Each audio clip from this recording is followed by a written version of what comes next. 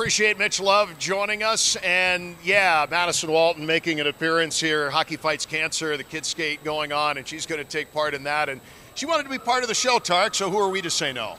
Absolutely. Love having Maddie along. So I did a little quick research. Maddie is the youngest person to ever appear on Monumental Sports Network. So we could you got that going for you. Yep. So that's a good thing. Yep. We got a few more things to chat about here in the meantime. How about one of the young guns for the Capitals in Connor McMichael? We mentioned earlier in the show that he's gotten to 10 goals, but in doing so, Right.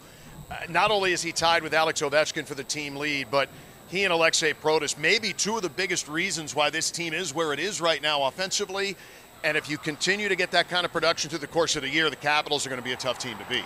you know, we've talked so much this season about the players that were brought in from other clubs. But what really stands out to me is the improvement of the guys who are already here. I mean, Connor McMichael has not taken a small step. The past few years, he's gotten better every year, but they were like, you know, small steps.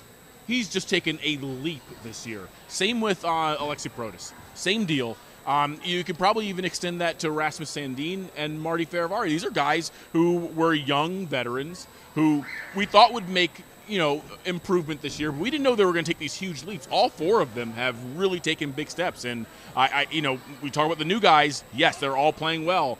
But man, that homegrown talent, you got to have some of that because a lot of those guys aren't on those big tickets. You got to have that in a cap world.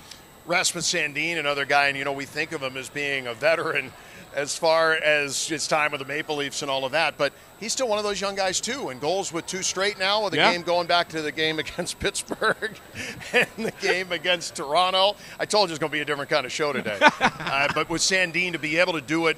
Uh, not once but twice. He hadn't had a goal since February until Friday night, and now he's got goals in two in a row, going into a game that I know always is circled on his calendar, and that's against the Maple Leafs. Yeah, no doubt about it. I, again, Rasmus to me looks like he's taken a big step. You know, he, he got that big contract extension. I'm sure he felt a lot of pressure. It was a weird start to the year for him, right? He didn't get his visa in time, and you know, joined training camp midway through. And I felt like those first few games he was finding his legs and kind of finding his rhythm. Um, he's also a guy who's been asked to take on a different role, right? I mean, when he first came here from Toronto, he was going to be a guy who might quarterback the power play. He got all those points in those first few games here with the Capitals. Oh, he's going to be a you know 40, 50 point defenseman. Well, they go out and get Jakob Chychrun this year, and now all of a sudden, you know, he finds himself on the third pair, and he's being asked to kill penalties, and he leads the team in block shots. Yeah. I mean, you know, he is really to me blossoming into a two-way defenseman. Where whereas when he first came out, maybe people thought he was going to be an offensive defenseman. So again, you know, the fact that he has the maturity to understand, you know, he had to find his fit, right? He had to maybe ch- make some adjustments to what kind of player he thought he was going to be at this level, and he's done it, and he's been outstanding. You know, I remember when we got into television, they said if you're going to work with kids or animals, it was always going to be a little bit of a different paint job. But that's kind of what we're doing here today. As, Love it. Yeah, all things are good here.